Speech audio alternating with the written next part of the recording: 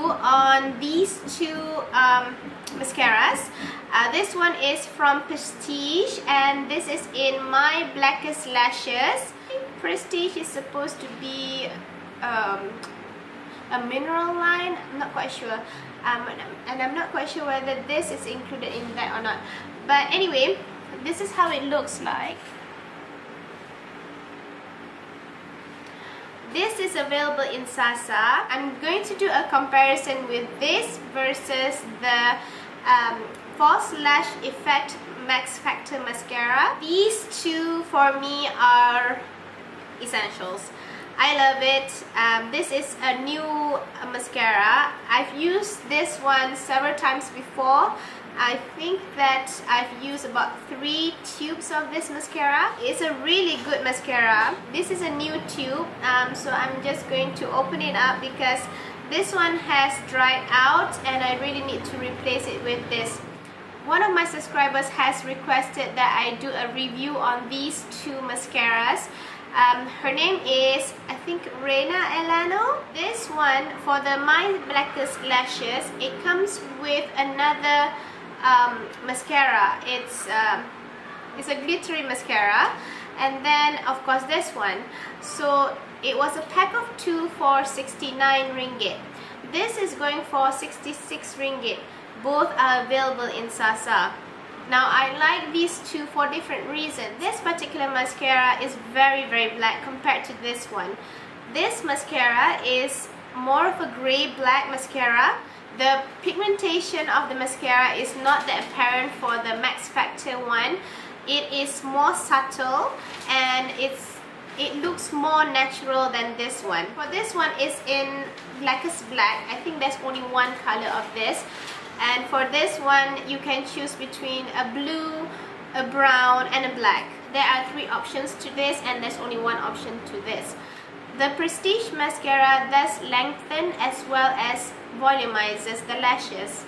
However there are a few problems with this mascara. The first one is the brush. The brush is quite big.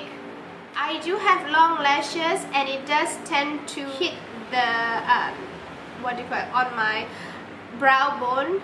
So it's a little bit difficult for those Asian eyes. It's a little bit difficult order to use this brush.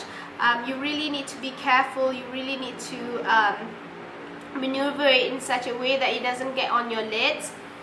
And then the second problem is that it's quite clumpy.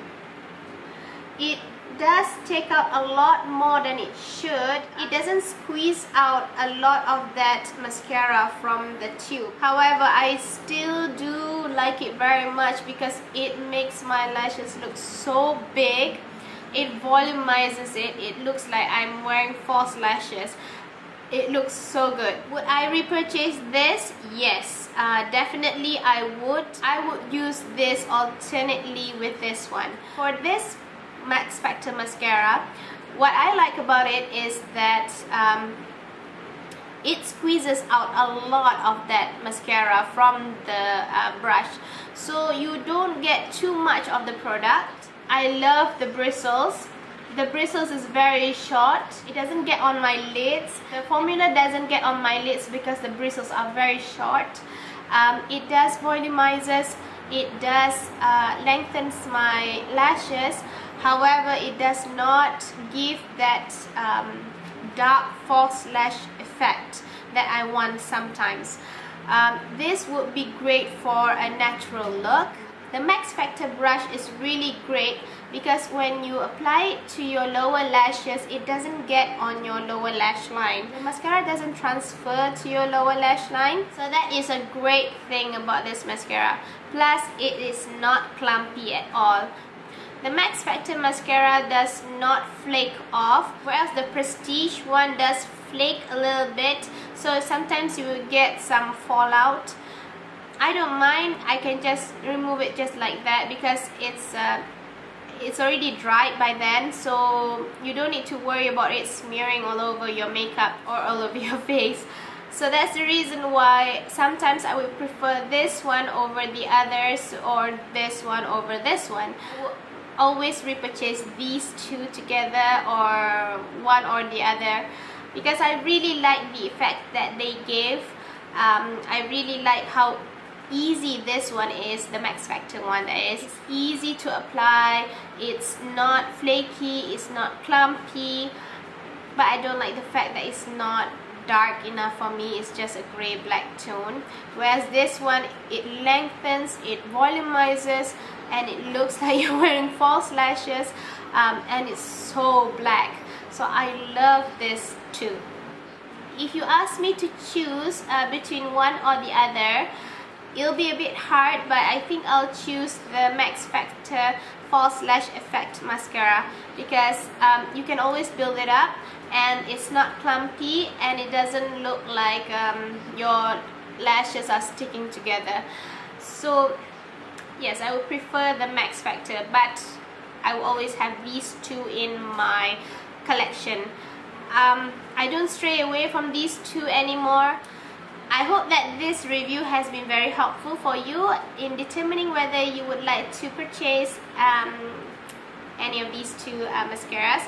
And um, if you do choose or do try it out let me know which one you bought in the end.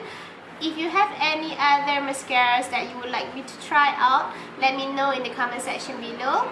And I would love to try it out. I want to try out the Revlon Grow Luscious one day. If you have any other questions, leave it in the comment section below too. That's all for now. Take care and I'll see you guys very soon. Bye!